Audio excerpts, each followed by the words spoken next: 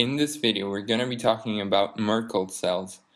Now, what Merkel cells are, they are mechanoreceptors, so they're able to, re to uh, receive any kind of mechanical stimulus coming from outside and transmit it to our brain.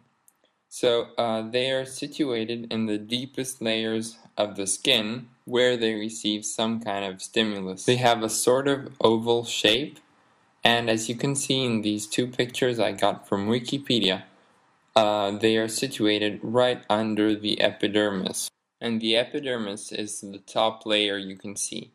Right below it is the dermis. Now the dermis is made out of connective tissue while the epidermis is epithelial tissue. So the dermis is actually vascularized. So you're going to see blood vessels in it while you're never going to see them in the epidermis. But um, the epidermis is also innerved, so you're going to have nerve terminations in the epidermis as well as in the dermis. Merkel cells are part of the non-keratinocytes. The keratinocytes are the typical cells of the epithelial tissues.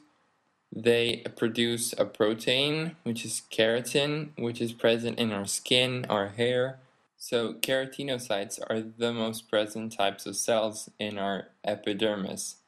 So non-keratinocytes are Merkel cells, then melanocytes, which are the cells which produce melanin, which give you uh, skin color, and Langerhans cells, which are APC cells, which are antigen-presenting uh, cells, which are part of the immune system.